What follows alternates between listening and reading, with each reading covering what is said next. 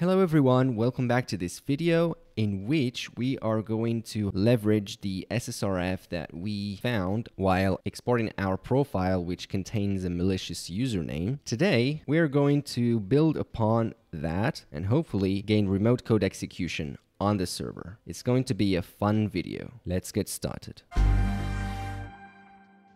Okay, we see that we have the root user here. We see that there's uh, still some content here, but it's truncated and I can't scroll down because it has been taken. It's like the server, the headless browser on the server has snapshotted the uh, content of that page. So we can't obviously scroll down. However, we can increase the height of our iframe and let's uh, let's use maybe 1000. Okay, let's refresh. And do we get something here? Yep, yep, yep, yep, yep. We get the whole file. If you see closer here, we have a user Gemini 1 that has been bash. Okay, that sounds promising. Now, what are the files that we are we should like play with? Well, we can start with proc self environ that contains the environment variables. Let's control R to refresh our page and nope, we have nothing. Is it proc self or self proc? No, I think it's proc self. Anyways, what else can we do?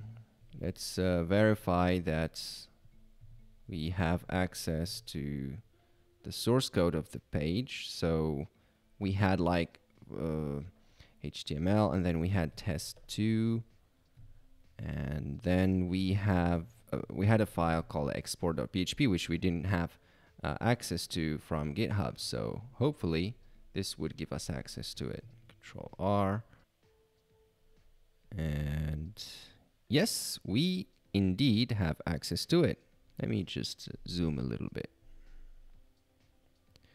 Yeah, that's better. HTTP profile. Okay, so it's taking that content, HTML content from that file, which was poisoned by our value, and then put it in it in a temp directory, and then it's adding some headers to download it by the server by the browser. Nothing really uh, interesting here. All right, what what are the other files that we can play with?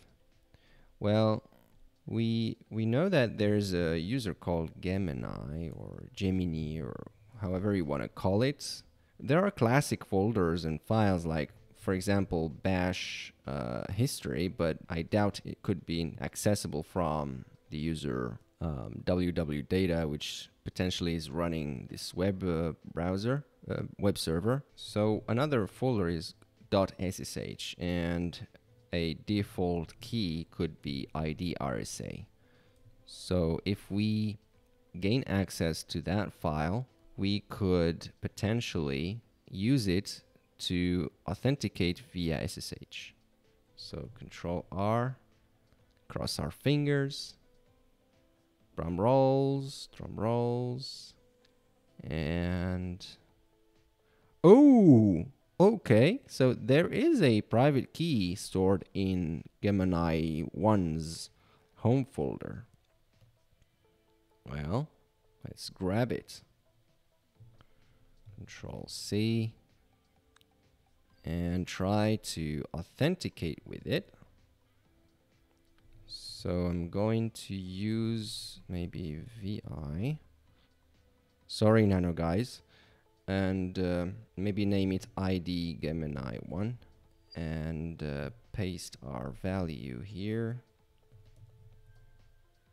Change mod for 00 and hopefully we can authenticate using that user. ctf08.rootme org and we want to use the uh, private key Yes. Ooh, look at that.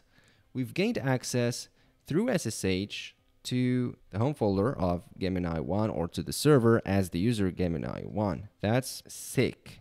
If we go to .ssh just to verify the permissions on that. So as you can see here, ID RSA is only uh, readable by the user itself, which means that Apache or 2 or whatever the headless browser that's doing the snapshot is running as this user Gemini 1. We can go to var www html test2 and ls the export. Export is owned by root. Okay, um, but we can't modify it to perform privilege escalation anyways. So in the next video, we're going to try and see if we can escalate our privileges to root. If you're interested in learning more about these techniques, if you are interested in pursuing an ethical hacker career, then I encourage you to head over to academy.thehackish.com.